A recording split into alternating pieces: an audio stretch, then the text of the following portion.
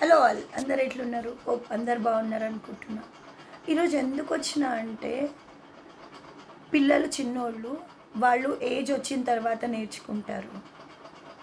నువ్వు ఏదైతే problem face చేసావో అదే ప్రాబ్లం నీ ముందు కనిపిస్తుంది అన్నప్పుడు నువ్వు ఆ ప్రాబ్లం వల్ల ఒక ఎక్స్పీరియన్స్ గెయిన్ అయినప్పుడు ద సేమ్ ప్రాబ్లంలోకి నువ్వు పడేస్తావా?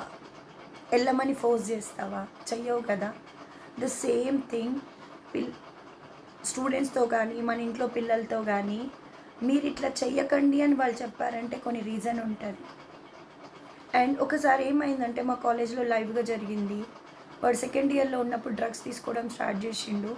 ఫ్రెండ్స్గా అప్పుడో ఇప్పుడో తీసుకుంటుండే. థర్డ్ ఇయర్కి వచ్చేసరికి మొత్తం అడిక్ట్ అయిపోయిండు. ఫోర్త్ ఇయర్కి వచ్చేసరికి టోటలీ లాస్ట్ ఏం లేదు అక్కడ.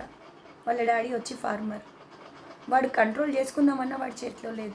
వాడి ఎడ్యుకేషన్ వాడిది మొత్తం కొలాప్స్ అయిపోయింది. ఐ ఐ ఇంకా అంతే మ్యాటాష్. అదే విధంగా ఇవి అదే సేమ్ థింగ్.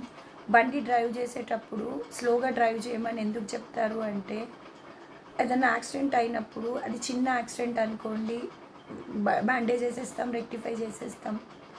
మేజర్ యాక్సిడెంట్ వచ్చింది అనుకోండి అంటే నాకు తెలిసిన వాళ్ళ ఇంట్లో ఒక బాబు అంటే ఒక ట్వంటీ ఫైవ్ ఇయర్స్ వచ్చిన బాబు వాడు కావాలని చెప్పి స్పీడ్గా డ్రైవ్ చేయలేదు. సంథింగ్ యాక్సిడెంట్ జరిగింది. వాడు కరెక్ట్గానే వెళ్తున్నాడు.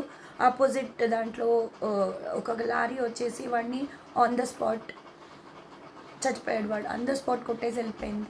ఎవరిని అడుగుతాం? ఎవరిది మిస్టేక్ అంటాం? డ్రైవ్ చేసిన వాళ్ళది మిస్టేకా వచ్చి గొద్దినోడిది మిస్టేకా ఒక్కసారి ఆలోచించండి.